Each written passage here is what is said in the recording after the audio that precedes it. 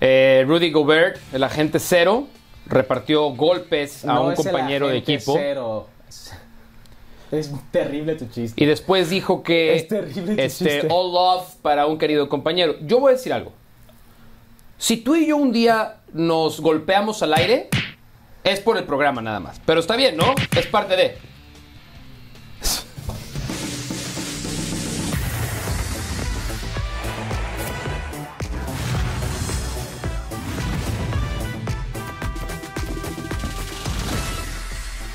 Es ahora o nunca, amigas y amigos. Bienvenidos a su programa de lunes. Aquí estamos arrancando semana.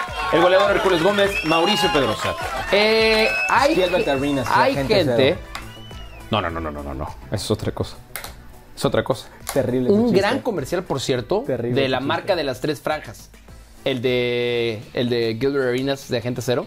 Gran comercial. Si lo pueden encontrar en YouTube, búsquenlo. En YouTube. ¿Qué opinas, hablando de YouTube, de la banda de YouTube que quiere devolver el sillón a este set?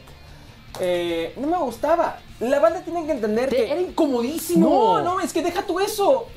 La banda sabe que yo lo quiero y los quiero muchísimo. Sí, mucho, los queremos mucho. Sé que me veo mucho Gracias. más joven que el caballísimo. Lo dijo un güey. Un güey lo Un dijo. güey, Uno. más respeto. Un güey lo dijo Un nada güey. más. Sí, sí, por favor. Los comentarios sí es más de un güey que opina eso. Eh, bueno, eh, por cierto, pero era muy incómodo. Sí, era muy incómodo. Agarra la onda también, sí, o sea. Sí, Y olía ya muy mal ese sillón, muy mal. Lo que sí, tenía mucha historia de Mucha ese sillón. historia, mucha Ahí estaba historia. David Faitelson y también estaba el Canelo Álvarez. En, Ah, es cierto. En un- una, Una- gran un entrevista. gran diálogo de- ¿Qué, qué va a pasar con, con ese sillón? No sé, ¿eh? Oiga, aquí. ¿Dónde quedó? Vamos, vamos a investigar, vamos a lanzar. Aquí Yo hacemos periodismo. casa, ¿eh? No es broma, yo me lo llevo a la casa. Es- este, estaría padre, estaría padre que lo conservaras tú que tienes una mansión en Bel Air. Ahí vive Hércules Gómez en una mansión en Bel Air. Bel Air, Es más cerca de la playa. pero- Hablando de mansiones, le damos la bienvenida al señor David Faitelson, que está con nosotros como todos los lunes para hablar de muchas cosas. El gran Marshall de la hispanidad aquí en Ahora o Nunca. ¿Cómo te va, David? Bien, ¿Verdad que era muy incómodo el sillón este de Ahora o Nunca, el que teníamos antes? Eh, sí, sí, sí, obviamente. Bueno, depende cómo te sentaras, ¿no? Pero sí, sí, era medio... Ah, caray. Yo lo veía muy comodito, Ah, era muy quien. comodito. Ahora sé que en ese sillón pasaron muchas cosas complicadas. Sí, sí, sí. Sí, sí, Hablas sí. de. ¿Tú dices al aire o fuera del aire? Cuando escupió, cuando escupió Platanito, habla de eso. Hay ciertas cosas de las que mejor no podemos hablar. Eh, por cierto, vamos a hablar de Santiago Jiménez y un rumor falso sobre Raúl Jiménez. Un rumor que les vamos a decir por qué es falso, Parece falso, Rick. sobre Raúl Jiménez. Pero comencemos hablando del partido más atractivo del fin de semana. América derrota a Rayados de Monterrey. Rayados traía su rocha esa de 12 partidos sin perder. En lo que a mí me parecía, a ti también, una final anticipada. Eh, yo no dije eso. Ah, entonces a mí nomás me parecía una final anticipada. Preguntas al Chile, señor David Faitelson. América ha demostrado que es realmente superior a Monterrey. No, no, no, no, de ninguna manera. Yo creo que ha sido un buen partido. El señor Andrada tuvo una noche, una tarde trágica en el Estadio Azteca. Un portero sobrio, un portero realmente efectivo, no muy espectacular, pero siempre efectivo. Pues ha cometido errores eh, realmente muy graves. Y luego también Rojas, eh, el jugador ecuatoriano, pues tiró el penalti y lo tiró muy, muy mal, a pesar de que dicen que fue una Muy gran tajada. Con miedo, lo tiró con miedo. Lo tiró con miedo, de acuerdo contigo. Así que a mí me parece que el partido confirma, sí, que el América está en un buen momento futbolístico, pero también confirma que los dos van a ser candidatos al título al mismo nivel. Yo veo a Monterrey y al América compitiendo al mismo nivel. Quizá el partido sirva, le sirvió más al América, el resultado sobre todo, Mauricio Hércules, para realmente mostrarnos que el América está al nivel de Rayados, que propone un torneo diferente, ¿no? Un, un torneo aparte, ¿no? Por todo lo que ha hecho y los puntos que ha recabado. ¿Qué quieres preguntar? Que si el América demostró. Ahí está la pregunta. O sea, al Chile el América es el superior a Monterrey. O sea- Hércules? ¿Dónde andas, Hércules? No, no, no. eh, Es que Mao sabe que yo no quedé convencido con la actuación del América. Eh, América es un equipo que juega bastante bien de local, que por cierto tiene muchísimos partidos de local para cerrar esta temporada. Ah, ¿estás acusando que hay No, un no, no, favoritismo estoy- al América no, para cerrar el torneo en el Azteca? Bueno, Hombre, es este, un comentario. apenas, Ah, apenas lo que están descubriendo, Hércules. Apenas estás Sí, descubriendo se me, que hace, ellos, se me hace raro, David, ellos pero... han en el calendario, bueno, está bien. Bueno, bueno, bueno, X. Eh, pero jugó muy mal el Monterrey. Y, y- y a pesar No, de no, eso- no, no. Monterrey no jugó mal. Perdón, Andrada- El América Andrada tuvo hizo, su peor el América hizo que Rayados se viera No, mal. no. O sea, vamos también a poner los puntos sobre las IES. Eh, bueno, déjame terminar Sí, por favor, Eh, razón. no, Eh, me- no gustó para nada el equipo de, de- de Rayados. Me, me, me decepcionó el equipo de, de Tato Noriega, de Rey eh, Midas, de, de- de Andrada, que jugó su peor partido desde que llegó a México. Eh, y lo de Joao Rojas lo comentó eh, David. No se puede regalar puntos, no se puede regalar penales. Hace unas fechas fue Duar Vergara que, que decidió tirar un penal porque necesito anotar un gol, dame la confianza. Venía regresando de una No lesión de y la tal. confianza, no, no, es de asegurar los puntos. Eh, Joao Rojas tira de este penal de una forma, viene de una No, lesión muy fuerte. sin confianza. Sin no, no, no, no, no. Ahora- Eso para mi gusto se puede ahora, hablar de lo que ustedes quieren, pero condiciona Pero el partido. yo- Pero yo sí creo, Hércules, que la gran diferencia del partido, más allá del marcador, es un tema que también es muy importante. El América es un equipo más de más pasión. O el plantel de América es de más pasión. Hay que ver cómo Viñas entra al partido y busca y, y a pesar de que se equivoca. cómo celebraron le cae el porque le ganaron a la, Rayados. la Eso es celebración. eso es mentira, eso no es pero cierto. tiene- Como que si ganaron un mundial, tiene David. más, tiene más pasión el América No, jugando al fútbol que la frialdad de Rayados de Monterrey. Monterrey Sí, es un ver, equipo ¿cómo les frío. dices tú, tú a Rayados? espérate. No, ¿Cómo, no, es cómo que- les es llamas que- tú a Rayados? no, es que dile, yo- dile a David, Perdón, explícale a David es que cómo es- llamas ve- tú a es que Rayados yo de veo Monterrey. lo que está haciendo David. David está es un golpe bajo al fútbol regio de esto de la pasión y también un golpe No, bajo a Rayados razón. por pecho fríos. Yo sé por ¿Tú lo cómo les dices? ¿Cómo les dices tú a Rayados? Espérate, está bien que yo le diga. ¿Cómo- ¿Pero cómo les dices? Está bien que ¿Cómo? yo les ¿Cómo? diga. Dilo, dilo, dilo. Está bien, yo he jugado contra Rayados y sé lo que es Rayados. O sea, yo tengo un odio contra Rayados. Usa la David lo palabra, usa. usa la palabra. ¿Cómo les dices? David lo está usando para causar división entre los regios y los de la Ciudad No, de México. No, no, yo entiendo este juego. No, Hércules. Sí. Lo que te quiero decir es que el equipo, de- a mí los equipos de Bucetich no me gustan. Bueno, pero no me gusta su estilo, pero Somos es dos. efectivo. Somos es dos. efectivo, el, Porque el fútbol de. Bucetich es efectivo, pero A me ver, parece que le falta pasión. Eh, a ver, pero esa pasión... Ay, pero. Ver, Bueno, Hércules no lo va a decir. Hércules les llama pingüinos a los rayados de Monterrey, por lo mismo del pechito frío. Pero yo les quiero hacer esta pregunta a los dos. ¿Qué casualidad, qué casualidad, que hasta la fecha 14 hablamos de un sistema defensivo de rayados de Monterrey cuando era el segundo equipo más goleador del torneo?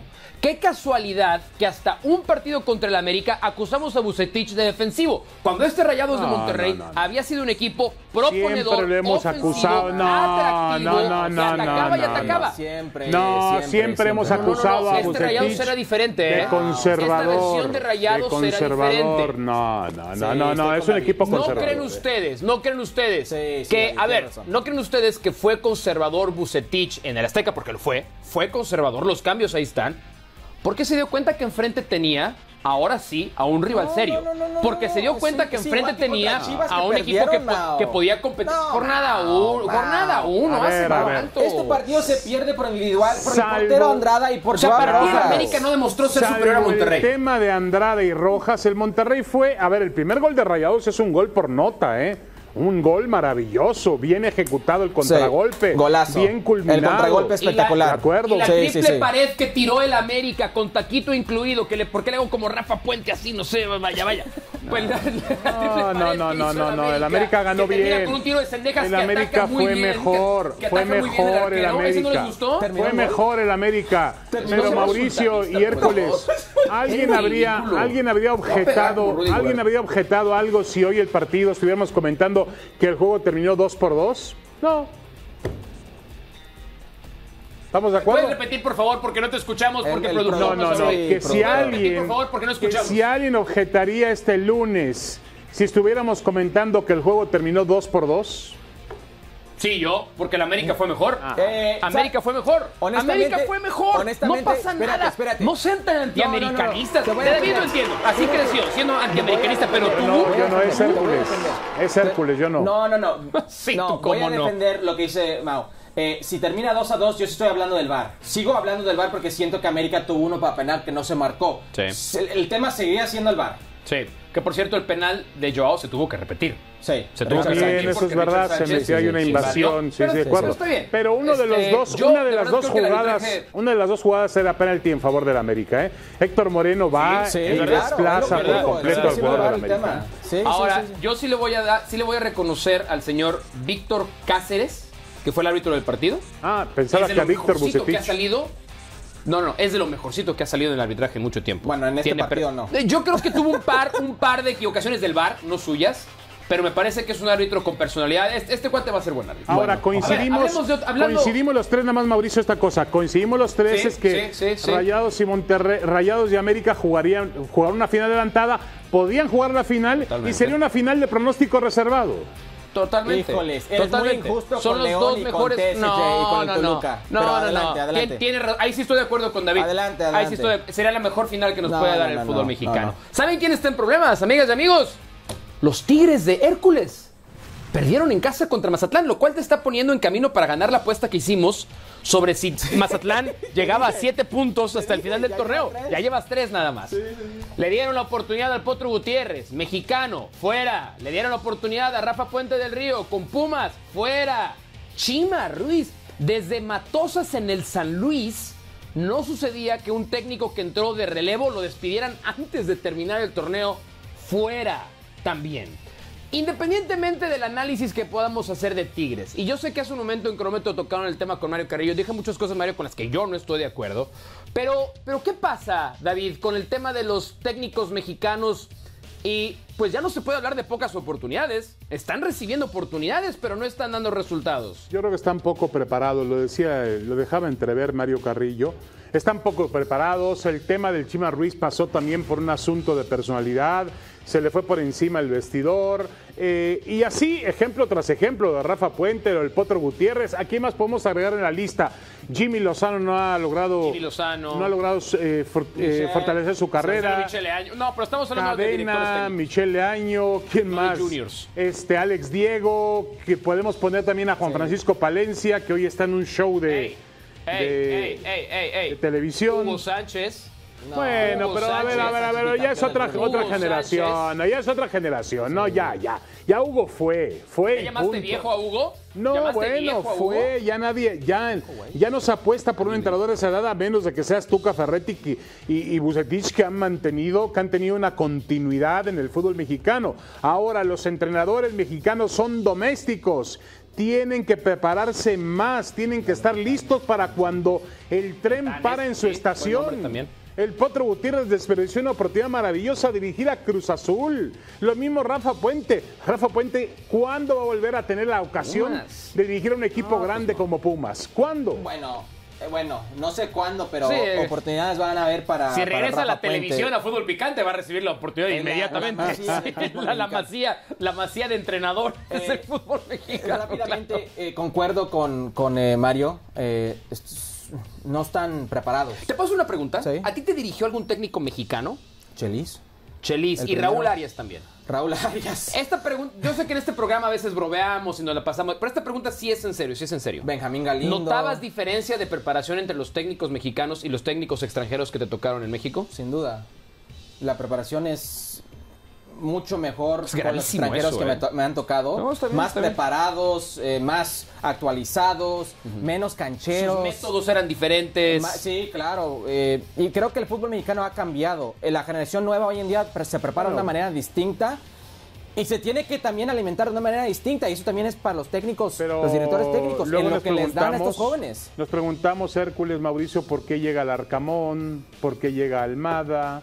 ¿Por qué llegan esa clase de entrenadores? es. Porque uno dice, bueno, son entrenadores jóvenes, bien podrían darle la oportunidad a un entrenador mexicano. Prefieren dársela a un uruguayo argentino que aparentemente está más preparado.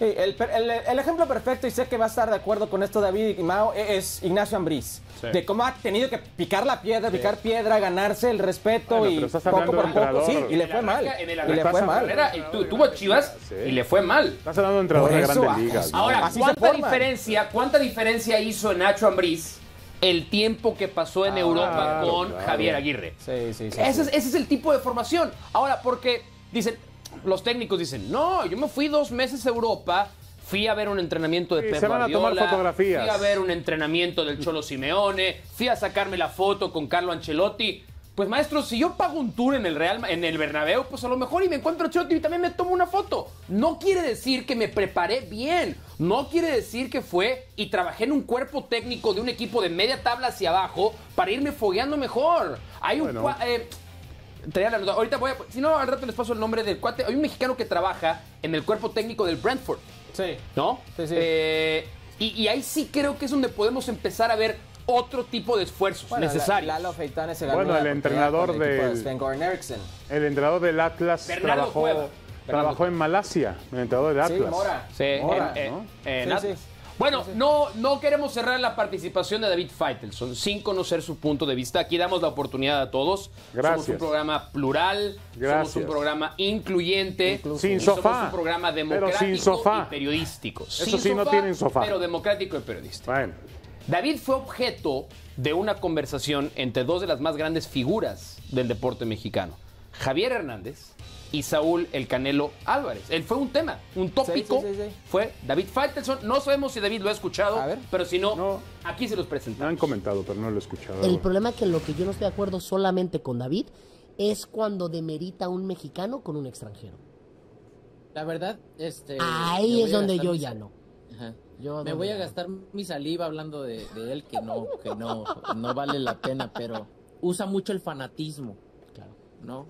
Totalmente. A lo mejor yo no le yo no le caigo bien, a lo mejor no le caigo bien o no le gusta mi boxeo, pero eso no quiere decir Que se demerite lo otro, exacto. eh, que no es que se demerite lo que estoy Exacto, haciendo y lo que exacto. lo que están viendo tus ojos. Eso es, eso Muchas es. veces, muchas veces él de su boca, si ves muchos videos, es, no quiere enfrentar a fulano de Taltum. Enfrento y le gano. No, y ahora este, pues no fue igual. Y sí, sí, es que cómo va a ser igual. No es lo mismo estar con otro cabrón peleando que estando peleando conmigo. No es lo mismo, no van a ser lo mismo. ¿Por qué? Porque no está un pendejo enfrente de ellos. Exacto. El mensaje profundo y real aquí es que me encantaría que cumplieran lo que dicen, de que fueran objetivos y no se fueran al personaje y a lo que vende más, ¿verdad? Sí, Porque te voy a decir sí, algo. El fanatismo. Sí, güey. Eso es lo único que yo siempre digo. Y hay, y mira, y te lo digo así. Y hay periodistas que están a mi en contra de esa manera, como periodistas fanatismos a mi Sí. favor también. ¿Qué te parece la conversión entre Chicharito y Canelo, David? No, muy interesante. Siempre es interesante escuchar a dos eh, deportistas tan eh, grandiosos como lo han sido para el deporte mexicano, Javier Hernández y, Saúl El Canelo Álvarez. Y bueno, tienen sus puntos de vista. Eh, al final del día, eh, yo lo que hago es una crítica. Me puedo equivocar o puedo acertar, pero es una crítica. Y la crítica yo le puedo garantizar al Canelo Álvarez y al propio Chicharito que jamás ha sido con mala intención. Yo no tengo, a mí me, yo no, tengo mala intención para con el Canelo. Yo creo que el Canelo es una gran, gran figura y quiero que triunfe al máximo nivel, pero que no se digan mentiras, que no se engañe sobre todo al aficionado, que es lo más importante que hay. Nada más. No, son de dejar en claro que Javier empezó la, la plática con la admiración Sí, y sí, sí, respeto que tiene bien de con ti. David. Habla- sí, habló sí, muy sí. bien, Y bien. cerró también hablando muy bien Pero de ti, de tu algo trayectoria. y a ver si le puedes contestar. Dice que criticas de más al mexicano sobre el extranjero. Puede ser, pero no sé a qué también se refiere con eso. Yo también critico al extranjero, obviamente, no, no. O sea, puede ser, puede ser, ¿eh? No, no, no, no lo estoy, de ninguna manera no lo estoy esquivando. Puede ser, lo tengo que analizar, pero bueno, yo reconozco la carrera de Chicharito Hernández. Anotar goles en Inglaterra, en España, en Alemania, no es para cualquiera. Yo reconozco la carrera de Saúl El Canelo Álvarez, es uno de los mejores boxeadores de todos los tiempos para México y uno de los mejores de todos los tiempos para el boxeo internacional. Ciego no estoy, pero los dos también tienen que entender que la crítica, deben aceptar la crítica, asimilar la crítica y punto. Eh, fue un buen ejercicio. La verdad es que no por nada es el gran Marshall de la hispanidad. Ya cuando se Ah. toman el tiempo. Chicharito Sí, y Canelo, voy a recuperar eso es nombrado voy a comprar como un el sofá mejor en periodista del país. A ver si El dejó algo Chabelo, que en paz descanse. Damas y Les voy a comprar uno. Gracias, David. Te vemos esta noche, David. Te vemos esta noche. Gracias, que te vaya bien. Vámonos a una pausa. Cuando el bebote ataca de nuevo. La jugada de la semana es presentada por T-Mobile. Fuera o en casa, T-Mobile te tiene cubierto. Ah, la jugada de la semana. Los buenos amigos de T-Mobile afortunadamente no me dieron ninguna de los bravos. ¡Ay! ¡Qué gran recuperación! No, Tremendo, tremendo. Tu época favorita del año arrancó el béisbol de las grandes ligas Hércules y arrancó con esta gran jugada de Edmundo Sosa. En ter- desde terreno de foul, pasada la almohadilla. O Mira sea, nada más el brazalete. el primer intento, so-so. La segunda, sosa. Ah.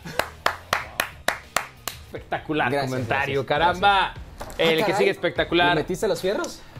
más, más bien necesito algunos fierros. Ah, caray. El que no necesita. Chingado, cierto. El que no necesita es Santi Jiménez.